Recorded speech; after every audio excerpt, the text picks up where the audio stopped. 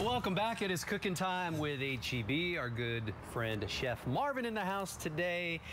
It doesn't feel like fall, but you're giving us a taste of fall I today. am, I am. So today I have a couple of different dishes that we did with our butternut squash soup mm-hmm. that comes from Italy. The first one is a ravioli. It's really simple. All we do is grab our jar of sauce here, pour that into a hot pan, and then we add a little bit of heavy whipping cream. Ooh, you're stepping up your game there. that kind of takes things up a notch, doesn't it? It does. It's gonna make it nice and creamy, very velvety filling. So stir that together. Then we're gonna add our ravioli, which are, these are our HEB um, filled pastas.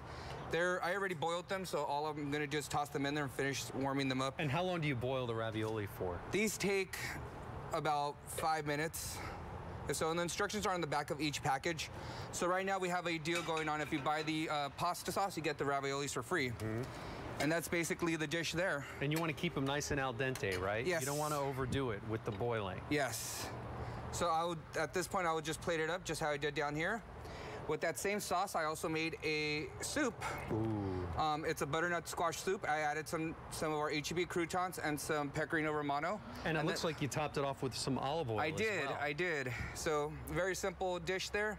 And then I have our truffle mac and cheese. Oh so right now our truffle mac and cheese has a dollar off coupon. Mm-hmm. Everything's in the box. No need to, all you do is boil water, pour the pasta in there and pour the little packet of mixed stuff. that's And you can play around with this sauce too, right? You can add garlic, onion, Definitely. you can- basil, You could add- sage. see, I actually have some sage that I garnished the dish with, so it's gonna be a nice fall um, dish.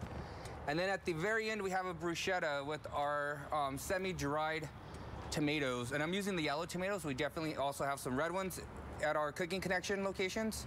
Um, all I did was pull them out of the jar, toasted some bread on the grill, or you could do it in the oven, and then topped it off with the tomatoes, basil, and the cheese. Chef Marvin, you've given us some great ideas as always. Appreciate it. If you want to check out these recipes, just head on over to our website, click2houston.com.